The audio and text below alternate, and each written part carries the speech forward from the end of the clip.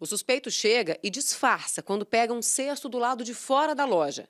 Ele olha para os lados antes de entrar. Já no interior, ainda pega outros objetos. A comerciante nota o homem. A mulher estava sozinha, já que o único funcionário havia pedido para sair há uma semana. Depois de dar voz de assalto, ela teria reagido. No local, nós constatamos aqui que realmente trata-se de um latrocínio. Com as imagens e, e, o auxílio da Polícia Militar, que já estava aqui no local, nós já conseguimos a identificação do autor.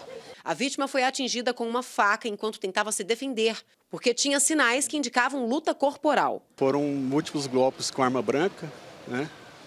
em algumas regiões do braço, é, no tórax. Vamos esperar o resultado do laudo emitido pelo médico legista para ter informações mais detalhadas em relação aos ferimentos que a vítima teve. Valdécia Araújo Ferreira tinha 73 anos e tinha a loja na Avenida dos Alpes, da Vila União, há 12 anos.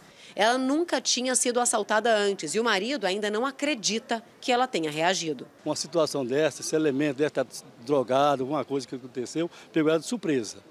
Pegou ela de surpresa, porque ela não é assim de, de a reação dela de reagir de agir, porque ela sabe muito bem que sempre explico para ela a situação de bandido. Comerciantes da região contam que o local era calmo e há cerca de seis anos ninguém tinha notícias de crimes dessa forma ali no setor. Os três anos para cá, nós não tivemos violência e os meliantes não tinham né, vantagem nenhuma aqui. Sem crime total, muito tranquilo, policiamento muito, muito bem feito aqui na região também, estava bem tranquilo, não existia problema para a gente de assalto, de, polícia, de, de problema com, com, como aconteceu aqui com a dona Valdece.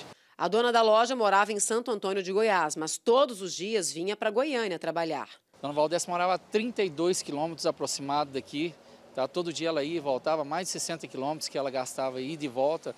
73 anos cansada, né, nesse aspecto disso, mas muito motivada, uma pessoa muito boa. E infelizmente uma barbárie dessa aconteceu com ela. A loja está à venda. Tem um corretor para já para vender essa loja, para acabar com isso, mas felizmente aconteceu esse fato. A delegada diz que o suspeito já tinha várias passagens pela polícia. Por roubo, três passagens por furto, uma passagem pelo crime de estelionato e um cárcere privado.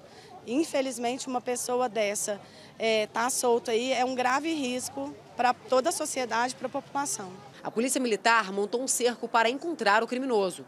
Segundo a polícia, Diego da Silva Oliveira tinha mais de 20 passagens.